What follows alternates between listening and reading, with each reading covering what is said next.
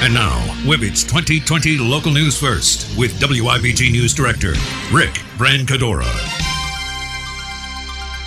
Well, for some small South Jersey businesses in New Jersey damaged by the storm, once Hurricane Ida, they'll be able to apply for grants of up to $5,000 from the state to help start paying for their recovery. Tim Sullivan, the Chief Executive Officer of the State Economic Development Authority, said the $10 million program was announced by Governor Murphy. The board is set to approve the initiative at a special meeting coming up on Wednesday. In the school system itself, still questions as to what they're teaching. What is the curriculum looking like this year? There still remains a lot of doubts in terms of qualified leadership. And according to Pleasantville School Board member Jerome Page, he wished the community would have gone outside to look for a qualified school superintendent. This is a very important position, the superintendent of schools. And if you don't really have the background, if you don't really have the experience, I think she may have bit off more than she can chew. Okay, I think she's in a position. I mean, she comes out of charter schools. This is her first time being involved in a real public school with over 3,500 kids, about over 800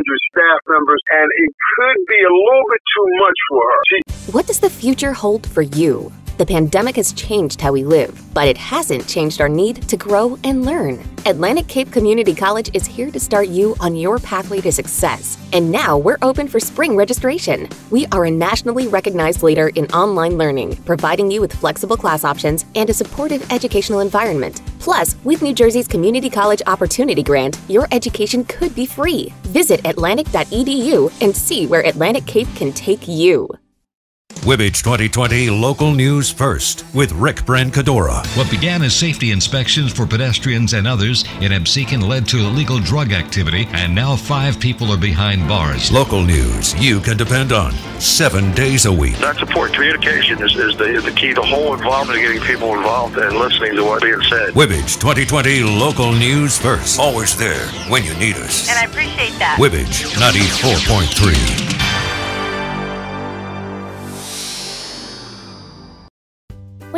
kid, things were simple. Thoughts of travel always brought a smile to your face. Airports were friendly, fast, and a pleasure to use. Those days are back at Atlantic City International Airport. Enjoy easy parking, quick check in, and fast, efficient security screening. Relax, stay connected, or grab a bite.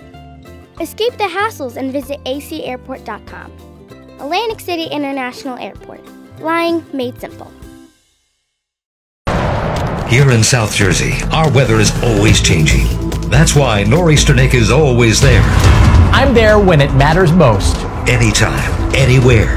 And on any screen, so you know how to prepare. Tracking severe storms with the most powerful technology, so you're ready no matter where you live. Delivering the most accurate weather forecast on air, online, and on social media.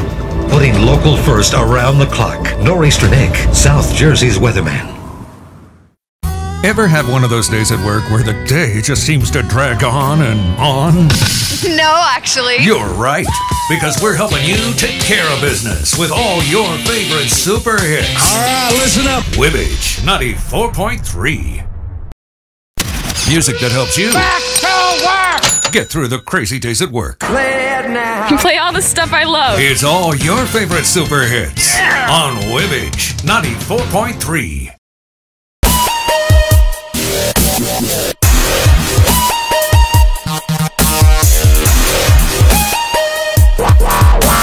Local news you can depend on. Wibbage 2020 local news first. Always there when you need us.